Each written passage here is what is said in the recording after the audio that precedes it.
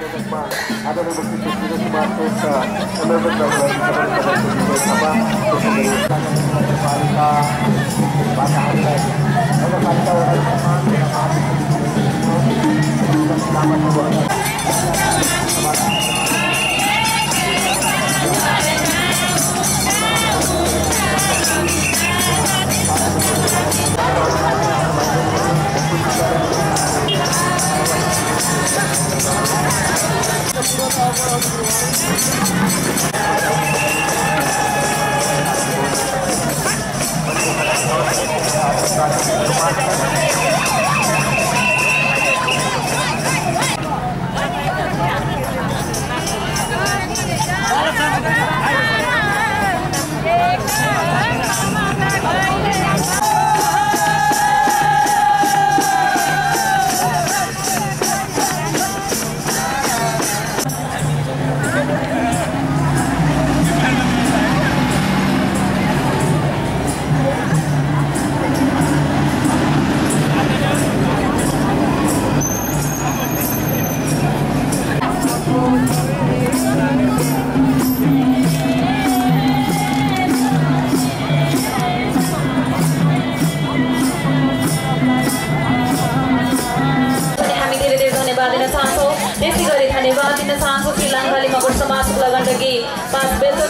समूहलाई हामी हृदयदेखि नै आभार प्रकट गर्न चाहन्छौँ र यतिखेर भने हामी आसनलाई नै जोड्न चाहन्छौँ।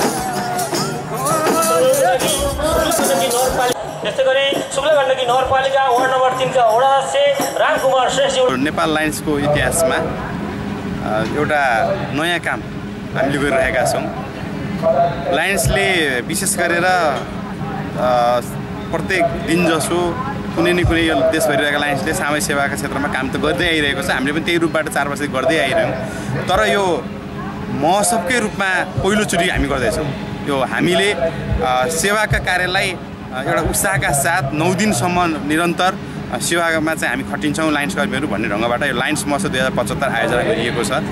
यो नौ दिन हामीले सामाजिक सेवाका क्षेत्रमा काम गर्दै गर्ने चाहिँ लक्ष्यका साथ अगाडि बढेका छौँ। आज उद्घाटनको दिन जुन खालको भव्य तयारीका साथ यहाँ झाँकी जुलुसका साथ जनसहभागिताको उपस्थित रह्यो। यसले हामीलाई हामीले गर्न लागिरहेको चाहिँ महोत्सव यहाँको स्थानीय जनताको चाहिँ चाहना बमोजिम हो। सेवाको क्षेत्रमा हामीले गरेको कामप्रति अनुमोदित हो भन्ने ढङ्गबाट हामीले आज बुझिरहेका छौँ। र यो नौै दिन हामीले चाहिँ विभिन्न विशेषज्ञ डक्टरहरूबाट स्वास्थ्य शिविर सञ्चालन गर्दैछौँ। प्रत्येक दिन ल्याब टेस्ट फ्री गर्दैछौँ होइन? नि शुल्क ल्याब टेस्ट गर्दैछौँ। औषधि पनि हामी नि शुल्क उपलब्ध गराउँदैछौँ। यति मात्रै होइन हामीले यो शुक्ला गण्डकी नगर क्षेत्रभित्र रहेका पाँच सयजना विभिन्न परिवारका विद्यार्थी जुन सामुदायिक विद्यालयमा अध्ययन गरिरहेका छन् ती विद्यार्थीहरूलाई हामीले चाहिँ छात्रवृत्ति प्रदान गर्दैछौँ जो जसको झोलामा कापी कलम छैन। त्यस्ता विद्यार्थीहरूलाई लक्षित गरेर हामीले पाँच सयजना विद्यार्थीहरूलाई चाहिँ छात्रवृत्ति वितरण गर्दैछौँ। पचासवटा व्हिल चेयर जो हामीले अहिले यो लायन्सको चाहिँ यो वर्ष चाहिँ दिएर बाँचौँ भन्ने नारा जुन गभर्नर साहबले आउनुभएको छ त्यसलाई लक्षित गरेर हामीले पचासवटा व्हिल चेयर सेता छडीहरू यो महोत्सवकै अवधिमा वितरण गर्दैछौँ यो नौ दिनको बिचमा। आज मात्रै हामीले सोह्रवटा चाहिँ यो व्हिल चेयर हस्तान्तरण गरेका छौँ र त्यो क्रमिक रूपबाट हामी प्रत्येक दिन त्यसरी नै यसलाई अगाडि बढाउने चाहिँ लक्ष्यको साथ अगाडि बढिरहेका छौँ। यसलाई समग्र सेवाको उत्सवको रूपमा हामी प्रयोग गर्नेछौँ यो नौ दिन र यो शुक्ला गण्डकी क्षेत्र र यसका आसपासका क्षेत्रका चाहिँ जनताले यसप्रतिबाट चाहिँ लाभ लिनेछ भन्ने खालको कुरा हामीले अपेक्षा गरेका छौँ। चाहिँ हामीले स्वास्थ्य शिविर हजुरले भनिसक्नुभयो स्वास्थ्य शिविर चाहिँ हामीले अ, नौै दिन चाहिँ गर्ने प्रतिबद्धता गरेका छौँ। र भोलि हाम्रो थाइरोइड भोलिको बिस गतिको कार्यक्रम चाहिँ थाइरोइड र उस छ के अरे थाइरोइड र युरिक एसिड सम्बन्धी चाहिँ हामीले चेक कार्यक्रम राखेका छौँ। त्यस्तै गरी अब सामाजिक अपाङ्गहरूलाई व्हिल चेयर वितरण गर्ने र सेतो छडी वितरण गर्ने कार्यक्रम पनि आजबाट सुरु गरेका छौँ। र यस क्षेत्रमा एउटा अपाङ्ग रहेका व्यक्तित्वहरूलाई अ, एउटा सेवा गर्ने उद्देश्यका साथ हामीले व्हिल चेयर वितरण गर्ने कार्यक्रम राखेका छौँ। त्यसै गरी चाहिँ यहाँ रहेका र रहेका पर्यटकीय स्थलहरूको उजागर गर्ने उद्देश्यका साथ र हामीले ब्रोसरहरू तयार गरेर त्यो ठाउँको प्रचार प्रसारहरू पनि गरेका छौँ र होमस्टेको प्रबन्धन गर्ने काम पनि हामीले अगाडि अगाडि सारेका छौँ। र त्यसै त्यसै गरी र हामीले खेलकुद क्षेत्रलाई पनि समेटेका छौँ। र यसमा चाहिँ हामीले भोलिबाट नै भलिबल प्रतियोगिता सुरु गर्दैछौँ। रक्तदान कार्यक्रम रहेको छ र निम्न आय भएका एउटा अभिभावकहरूलाई गाह्रो परिराखेको छ आफ्नो छोराछोरीहरूलाई विद्यालय पठाउनलाई र त्यस्ता व्यक्तित्वहरूलाई सहज गर्नको लागि शैक्षिक सामग्री वितरण गर्ने र नि शुल्क के अरे त्यो शैक्षिक सामग्री र छात्रवृत्ति प्रदान गर्ने र अनि त्यस्तै गरी चाहिँ हामीले सत्ताइस गते चाहिँ एउटा विभिन्न विषय विषयको विशेषज्ञ डक्टरहरू ल्याएर र हामीले त्यो वृहत मेगा हेल्थ क्याम्प चाहिँ त्यो दिन सम्पन्न गर्दैछौँ। त्यो दिनको चाहिँ हाम्रो सबै क्षेत्रका सबै रोगहरूलाई चाहिँ समेट्ने गरेर सबै विशेषज्ञ डक्टरहरूसँग समन्वय गरेर हामीले त्यो मिति तिथि पनि तयार गरेका छौँ। निशुल्क स्वास्थ्य अ, के अरे निशुल्क औषधि वितरण गर्ने कार्यक्रम पनि रहेको छ। र निशुल्क ल्याबको परीक्षण गर्ने कार्यक्रम पनि त्यही दिन राखेका छौँ र त्यसै गरी डेन् डेन्टिस्टको काम कार्यक्रम पनि राखेका छौँ आँखा शिविर पनि राखेका छौँ रक्तदान कार्यक्रम पनि राखेका छौँ र यो महोत्सवबाट आएको जति पनि आएको आम्दानी र हामीले यही सामाजिक क्षेत्रमै खर्चने चाहिँ हाम्रो प्रतिबद्धता रहेको छ त्यही अनुरूप नै आजबाट नै हामीले कामहरू थालिसकेको कुरा मैले यस मिडिया मार्फत चाहिँ मैले जानकारी गराउन पनि चाहेँ। लागि हार्दिक अनुरोध गर्दछौँ। त्यस्तै गरी नगरपालिका वार्ड नम्बर पाँचका त्यस्तै गरी वडा नम्बर छका वडा अध्यक्ष कृष्ण बहादुर पौडेज्यूलाई पनि आसन ग्रहण गरिदिनुको लागि त्यस्तै गरी वडा नम्बर दसका वडा अध्यक्ष रामचन्द्र भण्डारीज्यूलाई पनि अतिथिको आसन ग्रहण गरिदिनुको लागि हार्दिक अनुरोध गर्दछौँ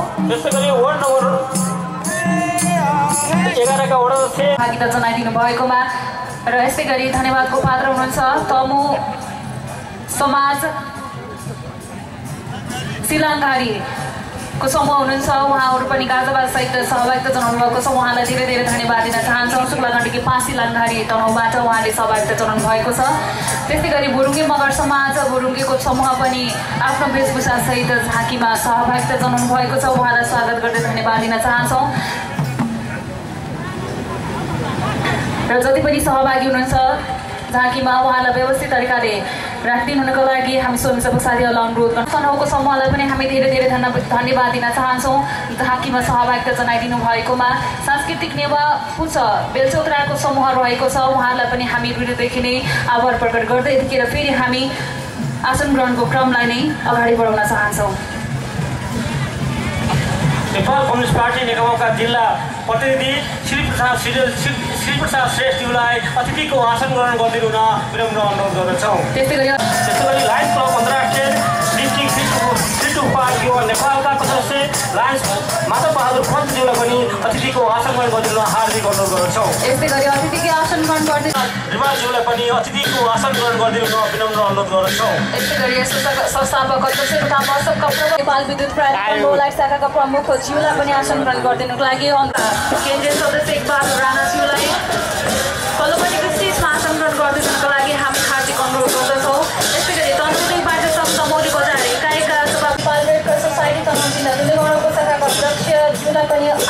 गरिदिनुको लागि हार्दिक अनुरोध गर्दछौँ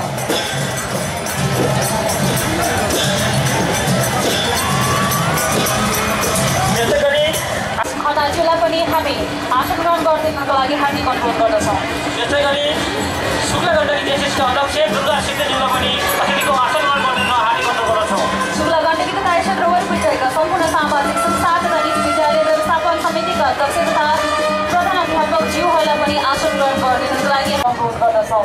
सम्पूर्ण स्वयंसेवक साथीहरूलाई एकत्र गरेर रहनुभएका हाम्रा झाँकी समूहका दर्शकहरू हुनुहुन्छ। उहाँलाई मिलाएर पहिलो कोही हो समूहलाई हामी दुलेगौडा गणपतिको समूह रहेको छ। बौद्ध गुम्बा तथा प्रभु ध्वज ध्वजदी। पहिलो समूहलाई हामी स्वागत गर्न चाहन्छौँ। जनप्रतिनिधिहरू लगायत विद्यार्थी भाइ बहिनीहरू र विभिन्न समुदायबाट पाल्नुहुने व्यक्तित्वहरूमा हार्दिक स्वागत गर्दै स्वागतम सुस्वागतम। अनुरोध गर्न चाहन्छौँ।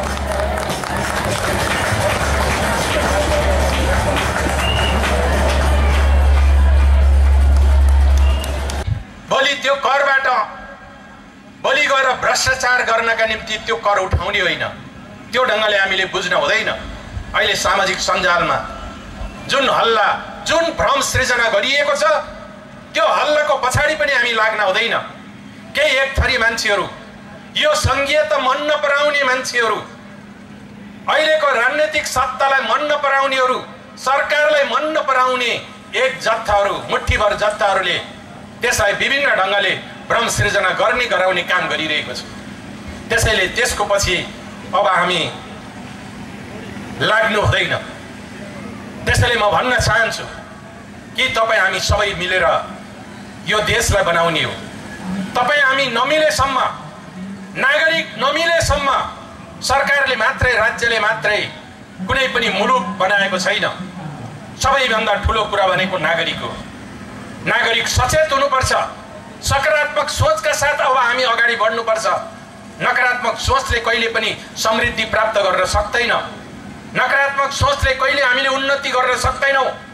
त्यसैले हरेक कुरालाई तपाईँहरूले सकारात्मक ढङ्गले सोच्नुभयो भने मलाई लाग्छ यो समाज सुन्दर बन्छ समृद्ध बन्छ।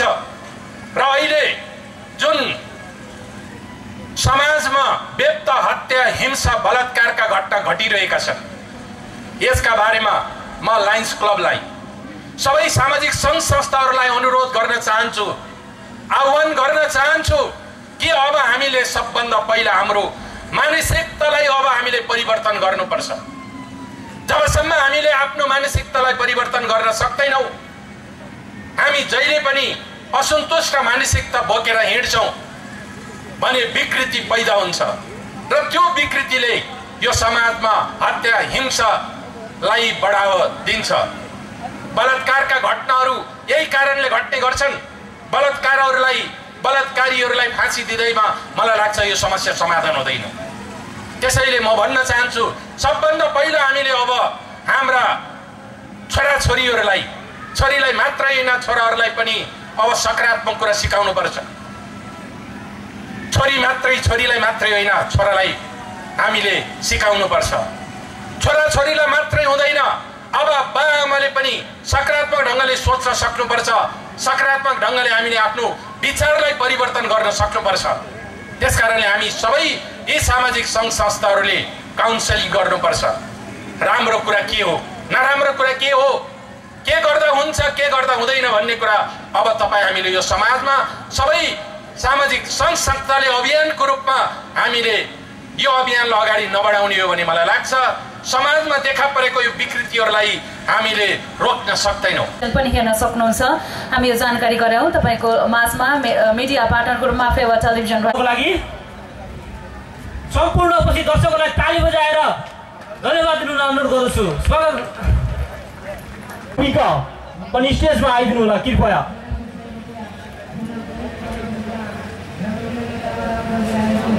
हामीले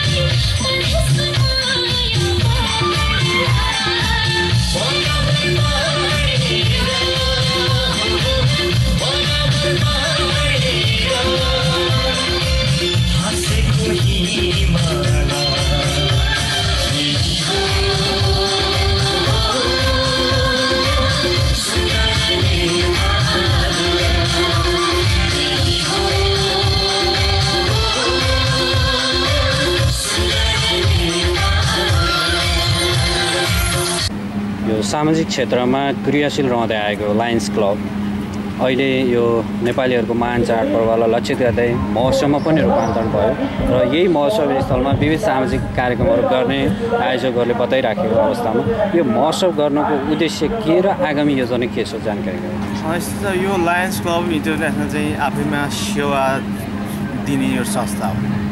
होइन यो आजभन्दा सत्तालिस वर्ष अगाडि नेपालमा जब प्रवेश गर्यो त्यस बेलादेखि नै हामीले चाहिँ समाजमा के गरौँ भन्ने भावना बोकेका साथीहरूलाई समेटेर हामीले क्लब साथीहरू अगाडि बढेका थियौँ।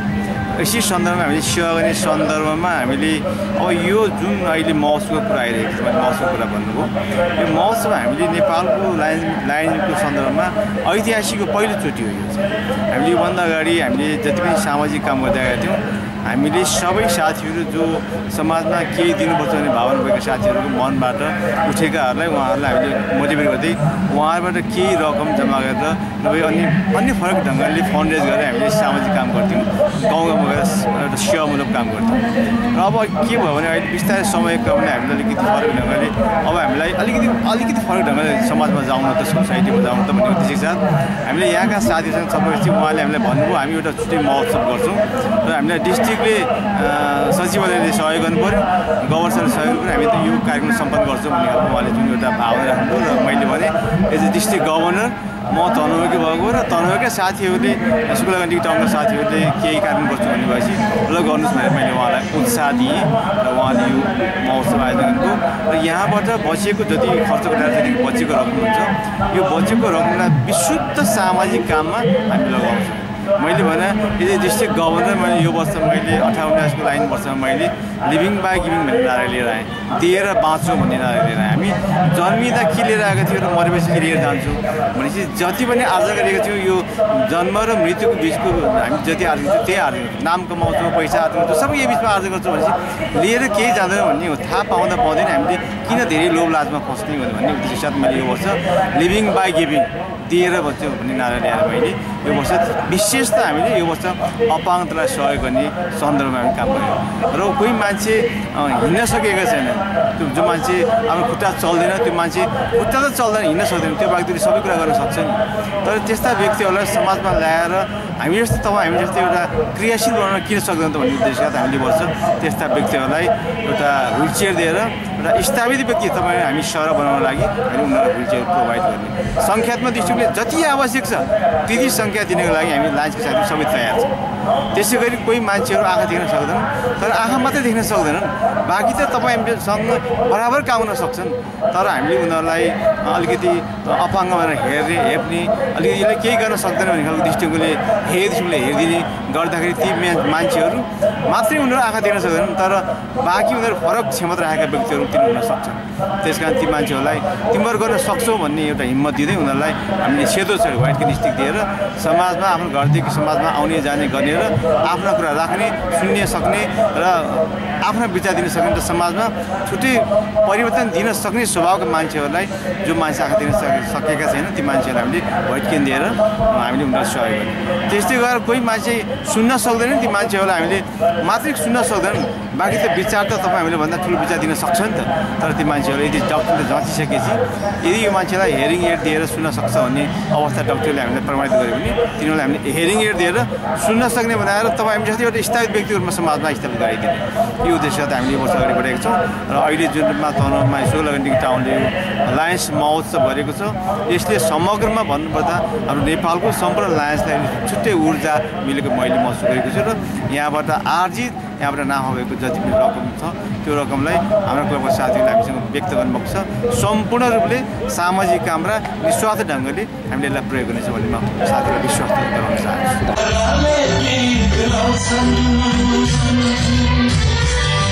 यही हो